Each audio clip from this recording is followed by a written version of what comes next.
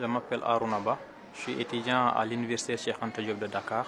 J'ai 27 ans. Monsieur le Président de la République, vous avez beaucoup fait pour l'accès universel à l'eau potable et à l'assainissement. Ce que j'aimerais, Monsieur le Président, c'est que vous facilitez l'accès universel à l'eau potable. Je vous remercie Arona. Je suis très heureux de répondre à ta question. Euh, tu sais que le Sénégal fait partie du Sahel, donc la question de l'eau a toujours été un problème. C'est pourquoi très tôt j'ai fait des déplacements très importants en milieu rural où le taux d'accès était de moins de 70%.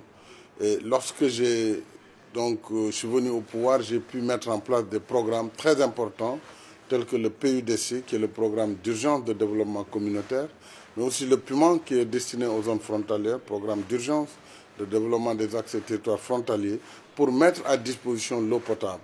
Ainsi, en six ans, on a pu euh, réaliser près de 681 forages multivillages qui ont permis de ramener ce taux d'accès à 91% aujourd'hui en milieu rural.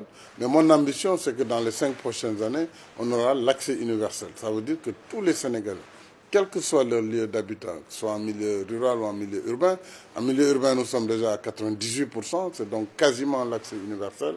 Mais dès 2024, il n'y aura plus un seul village ou une seule localité où l'eau n'est pas disponible.